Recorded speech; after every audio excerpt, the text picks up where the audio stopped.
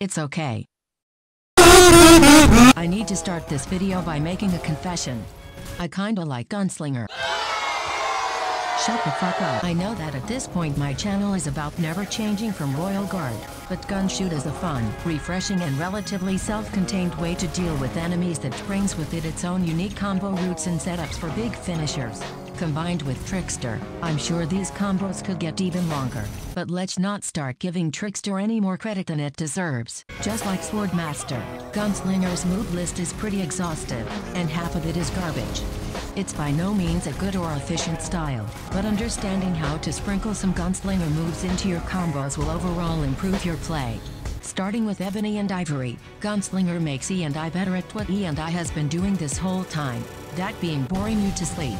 Equipping Ebony and Ivory while in Gunslinger will charge the weapons in the same way that holding the shoot button will. Shooting Ivory while in Gunslinger will increase its rate of fire, and make it finally start doing what it was allegedly supposed to be doing the whole time. You can now sprinkle in a little Ebony by pressing style, allowing you to shoot the two individually. With one targeting whoever is locked on and the other mostly just also shooting whoever you're targeting. Let's do a quick pop quiz. What do you think back forward style is going to do? A. Merge the guns together into one super gun and blast the enemies. B. Shoot a bullet only to shoot another one at it, ricocheting it back to the floor. C. Wrong. You just shoot the guns again, but now both of them at the same time. Three quarters of E and I's Gunslinger mood list is solely dedicated to shooting the guns fast but different. So I'm more than happy to announce that pressing style while in the air turns Dante into the 45 caliber drill that pierces the heavens. Rainstorm is genuinely useful for maneuverability, and has been severely buffed to compensate for the hit inertia took. Ebony and Ivory are generic guns that are used practically exclusively to extend combos and control your height, so there's no surprise that they still do exactly that in Gunslinger mode. Rainstorm saves the two from being gutter tier and turns the twins into something at least a little bit exciting. C. Up next is the best boy and I will fight you if you disagree. The Coyote A is Dante's staple 8 inches of sawed-off. It's the shining star in the sewage of shit that is the Gunslinger move list. After nearly falling asleep with the and I, switching to the Coyote is like chewing five gum. It's an instant rush of invigorating energy that makes you remember why Devil May Cry is actually fun. Firecracker is the Coyote's perfect form of rainstorm. What it lacks in practicality it makes up in. Stinger is a mobile fuck you straight to the enemy's cranium, administered with great prejudice. If you so decide to pussy out of the move, you can cancel it by rolling to the side and shouting buckshot profanity at a distance. You can string these dips and dives together infinitely to form your own ad-lib double-barreled fuck you. Any of these moves will consume the charge you build by holding down the shoot button. Once you're done saucing on him, you can literally just turn around and dome him. Smoking sexy. Who cares if it's nearly impossible to combo without switching to another style? The Coyote is pure, condensed fun that only gets better in Gunslinger. Moonwalking in is.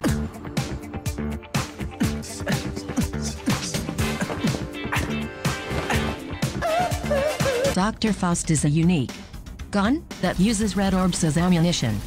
Getting hit while using Faust causes you to lose money, but using will give you more red orbs than you lose. You get a scarf that increases in length the more red orbs you have. That feature by itself makes this weapon S, but it gets better. Hitting enemies with your hat leaves a copy of it on them. This works for literally every mob and boss, and is key to using Faust effectively. While looking like smooth criminals, hit enemies will drop red orbs and will be pulled when executing Hat Trick. Faust's fire rate is so fast you can float enemies almost forever. Doing so is not only efficient, but also encouraged since the longer you hold the button, the more orbs you're going to use and the more damage you're going to do. Man in the red covers Dante in orbiting red orbs that will float light enemies, draining money while active. This, coupled with Hat Trick's launcher leads to an easy setup for it. Meteors will take a shitton of orbs but also do a shitton of damage. It's enough to guarantee a kill on most enemies, especially if you get Faust 4. You can also set out a hat turret that will follow you and shoot on your behalf like a certain someone's summon, just significantly less useful because you can't swap off the weapon without losing it. In case you haven't caught on, Dr. Faust fucking bangs. Whoa! SS. It's also currently facing court char- Ladies cool, right? Well, Judging from the trailers we had before the game launched, I had the feeling that she might be playable post-game or something like that. Unfortunately, no, we just get her gun.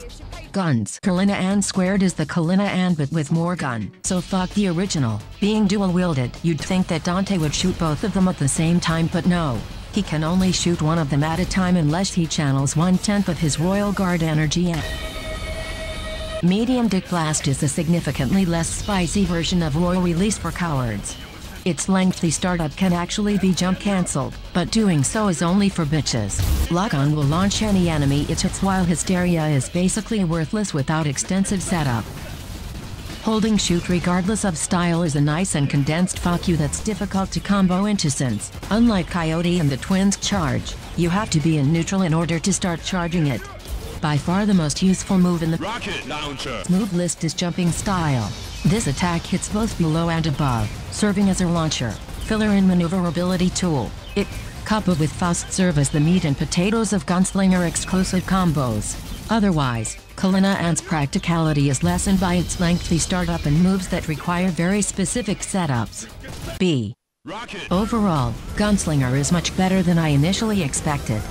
The expanded move list it offers is enough to add a little bit of extra style into your combos, even if most of it is garbage. I thought I told you to shut the fuck up. Fine. Gunslinger fucking sucks. Its entire mood list consists of dumbed down press button to win attacks designed exclusively to cater to the legions of borderline catatonic HROs that struggle to find the mental capacity to slam their oversized foreheads onto the style. I'd insult shit slinger players more, but it's bad form to make fun of the disabled. Someday. I'll toss all your